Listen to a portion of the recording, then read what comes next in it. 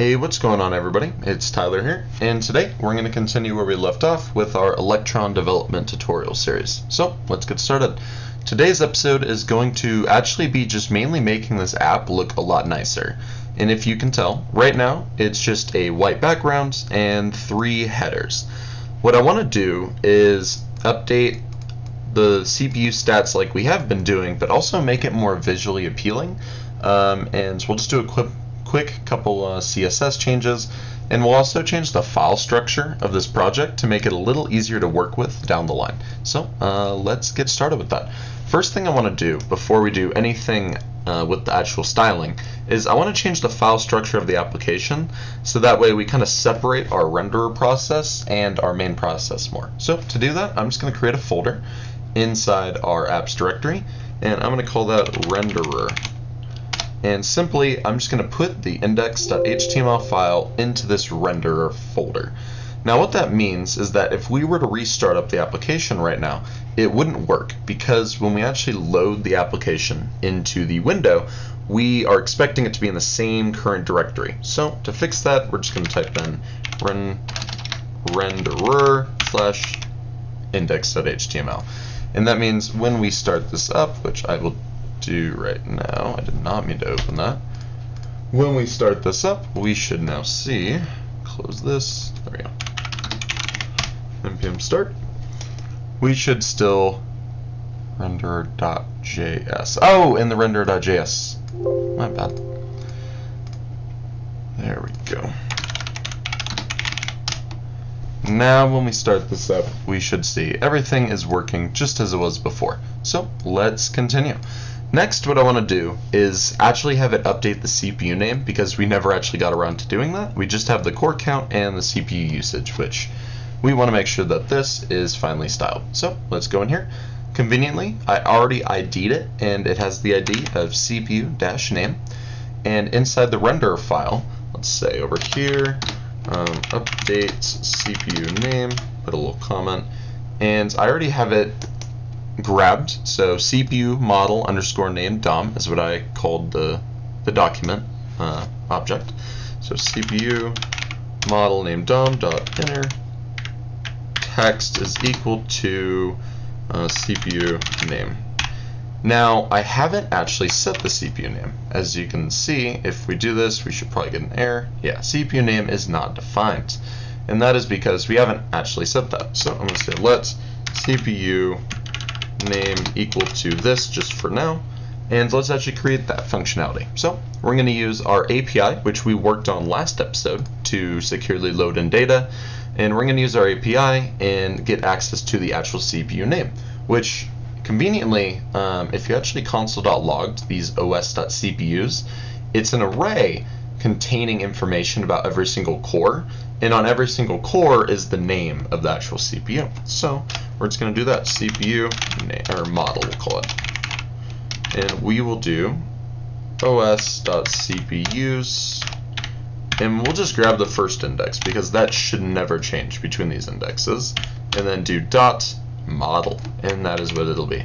So to actually get the CPU model now we can come in here and do this. Um, it should be API dot CPU. I think I copied it. Yeah, it did. Perfect. And when we refresh, we'll see uh, my actual system's processor name. Perfect. So now that we have that all set up, what I want to do is actually start styling this application and all around just making it look a lot nicer. So let's get started with that. First thing I'm going to do is inside the renderer folder, I'm going to create a folder called CSS and I'm going to create a file called style.css. Inside here, I'm also going to link that file and we're going to type in link. There we go. We're going to make sure it's a style sheet href of dot slash css style.css. And now that these are all linked, nothing should have changed, but let's just check. Perfect. So I already copied um, a root, like kind of style sheet I want to use, some color codes. I'll leave these in the description if you guys want, but it's basically just four colors, uh, a very dark gray kind of color, a lighter kind of gray, um, and I'll actually show this here. these are the colors, and I will leave its palette number 2763 on colorhunt.co slash palette. And I'll leave this color palette in the description if you want to follow along, though I encourage you to find your own palette. So we have this, and I'm also just going to select all the elements, remove the margin, remove the padding, and set a font, uh, let's say font dash family, and we'll say the Apple system fonts by default um, with these backup fonts. Perfect. So when we refresh, it should look a little different, but very few stuff has changed but the font and the removing of margin and padding. So next what I want to do is I actually want to get, um, the way I want this laid out is I want this to be in the center of the screen, and I want these to be kind of underneath it. So for example, I want them to be here, and then I want there to be a progress bar, kind of. But I want it to show the percentage of the CPU that's used in like a very visual format. So let's do that. First thing I'm going to do is I'm actually to style the background to the body. I'm going to say the background color will set to, I think I called it dark gray. Yeah, dark gray. And we'll set the color as well to silver because we want the text to be that silver. Oh, what am I doing? Var. There we go. There we go. Okay, so this is what we have here. The background is like a very darkish green, kind of blue gray. So let's continue. Next, what we have is I want to actually um, get these secondary stats. So these are like the secondary stats, and I want to actually get those all styled up. So I'm going to select that and I will come up in here. I'm going to close these files real quick. There we go. So dot secondary stats to select the class. And what I want to do is set kind of like a predefined width. This isn't the most responsive, but I'm going to limit later on limit the actual size of the application so it's very small anyway. So this should be fun. 250 pixels. Uh, we're going to say margin of auto and we're going to say display of flex. And then what we want to do is we want to say justify content, and I kind of want there to be space between, which would look something like this. There's very little space between, maybe like 270. Perfect, looks a lot nice. Okay, so next, let's actually get this H1 and get this in the center conveniently. CPU-name is a very um, easy thing to style. We're just going to say text, align center, margin. We will set, um, let's say, 60. Uh, let's do like 80. 80 pixels, 0 pixels on the right, and we'll do 10 bottom, yeah, 10 bottom, 0 left. And if we look now, we see our CPU model name, is styled in the center. We're just going to say font dash size, and we'll do it to 0.9 EM. I did not want to do that. I want to do RAM, I think. Oh, what am I doing? It's gonna, sorry, 32 I think is about a good size. Yeah, uh, maybe a little smaller. That looks pretty good. So we have that, and now what I want to do is actually style up these font sizes. So we'll do font size 0.9 EM. Nice. Let's increase that 0.2, and font weight we'll just set it to very, very, very light. So if we look here, oh, that's why that didn't work. I'm sorry about that, guys. Uh, H3s. There we go. Okay, so in here we have our font weight and our font size. Let's set that back 250, and they should look pretty good now. Perfect, that looks really good. So what I want to do now is I want to create this kind of like like a progress bar, but it'll update in real time. So we'll have 8% of it filled if the CPU percentage is 8, 11% if it's 11. So let's actually show how we would go about doing that.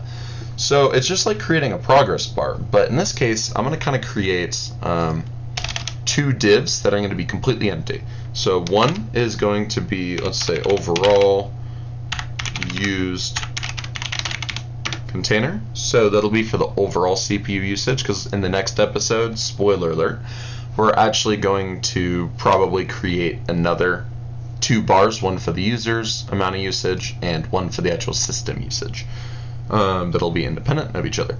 So overall used container, and over here we'll have overall, uh, we'll call CPU used. So basically the way I'm thinking is I want to have this be an external container, like a big background of like white or something, and in here I want this to fill up as the percentage that it needs to. So what we're to do is we're going to actually style these inside of CSS now, just to see how it would look. So we're to do overall overall used container, I think I called it. And we're going to say margin of auto. We're also going to give it a predefined width of, let's say, 65 viewports. Okay, and then we're going to say a height of 24 pixels and margin um,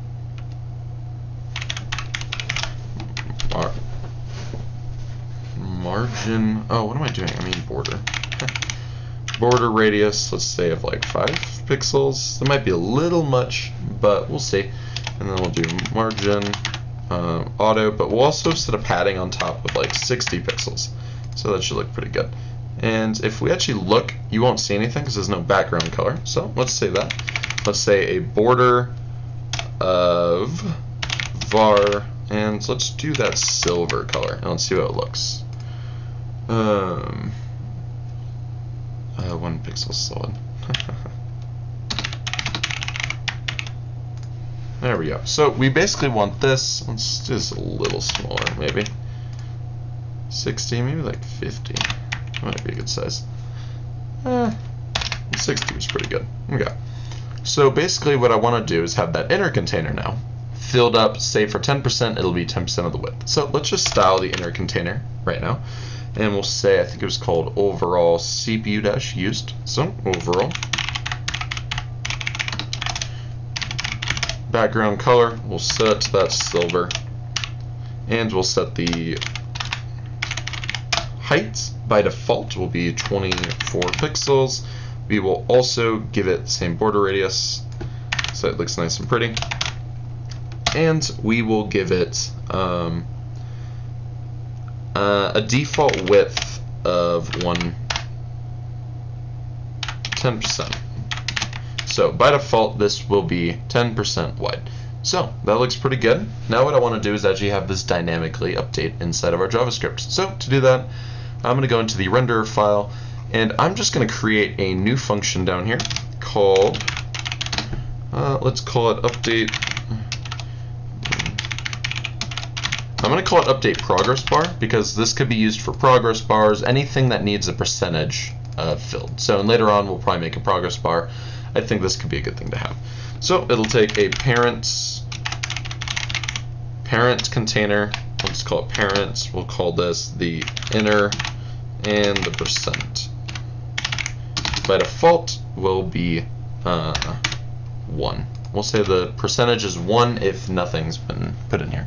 So what we basically want to do with this is we want to say the inner is going to be equal to the parents underscore and we basically want to get the client's uh, the actual width of the element so I think that should work if we had this. And then we're just going to times it by the percentage divided by 100. So, because currently the percentage comes back in a format where it is, say, 8% out of 100, whatever. We want to divide that by 100 and then times that by the client width, and that should give us the actual pixel values that we, the actual pixel width for the inner one that we need. And then conveniently, we can just say inner, uh, inner underscore dot style dot width is equal to inner width. Um, and I'll just, I'll wrap it in a little string so we can type px. So if we do this, this should now work. And conveniently, what I'm going to do now is I'm going to use this function whenever we get our data back from our main process. So uh, up top, I'll go ahead and create two new constants, constant for each um, actual divider. And to do that, we'll have constants. we'll call this overall container document get by ID. Paste that in there. Const overall inner is equal to document get element by ID. And I think this is percentage overall used percentage, I think. No, it doesn't sound right. Overall CPU used. That's about right. Okay.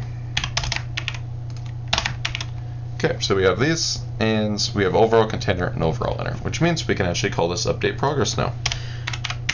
Update progress bar, overall container, overall inner, and we'll pass in the percentage that we get back, which is this right here.